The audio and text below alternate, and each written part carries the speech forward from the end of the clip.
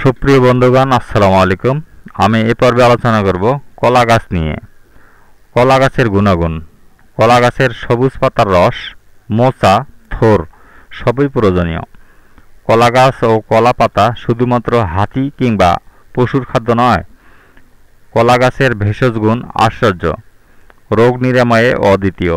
সর্দি, কাশি, শ্বাসকষ্ট, কোষ্ঠবদ্ধতা, আমাশয়, রক্তদুষ্টি, অম্ল, গ্যাস উচ্চ রক্তচাপ, লিভারের দোষ হলে কলা পাতার রস উপকারী।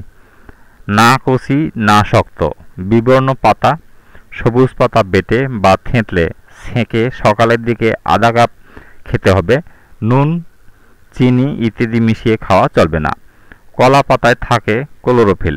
ক্লোরোফিল পেটে গেলে অন্ত্রের ঘা, লিউকোমিয়া চর্মরোগ হয় না।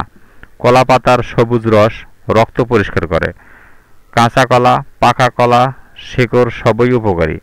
তবে কাঁচা কলা তরকারিতে খেলে কোষ্ঠকাঠিন্য দেখা দেবে এবং পেটে বায়ু জমবে। পাকা কলা বেলা নয়টা থেকে বারোটার মধ্যে খাওয়া উচিত। যখন তখন পাকা কলা খেতে, খেলে ক্ষতি হয়।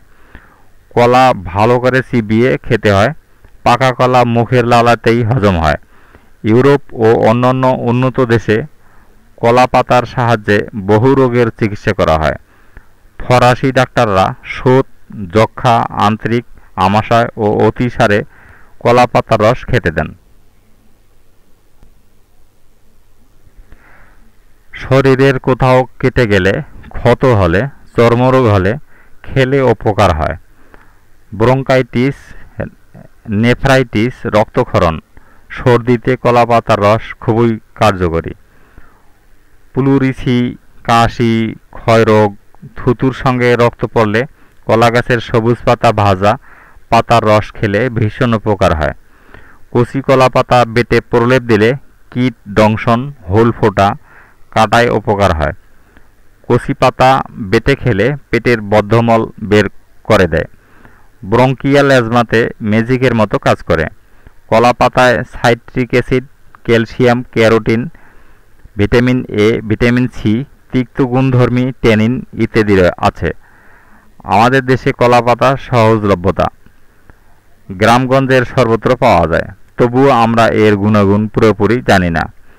কলার ফুল বা মোসা একটি উপাদেয় আনাজ, নানা প্রকারের রান্না করে খাওয়া যায়। বিসি কলার মোসা উত্তম।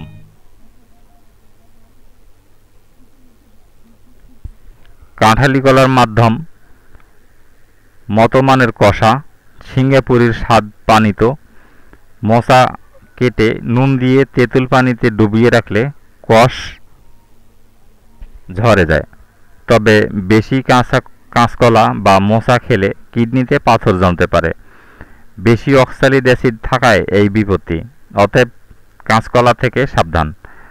আমার এই তথ্যগুলো ভালো লেগে থাকলে সাবস্ক্রাইব করবেন পরবর্তী ভিডিওগুলো পাওয়ার জন্য।